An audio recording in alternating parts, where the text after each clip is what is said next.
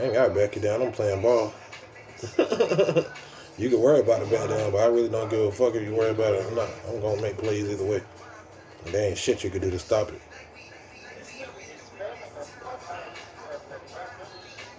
He is timing that jump perfect. Uh, you should have kept going out to three, my boy.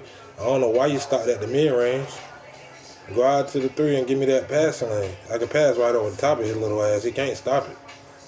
But when you that close, he can down show stop it.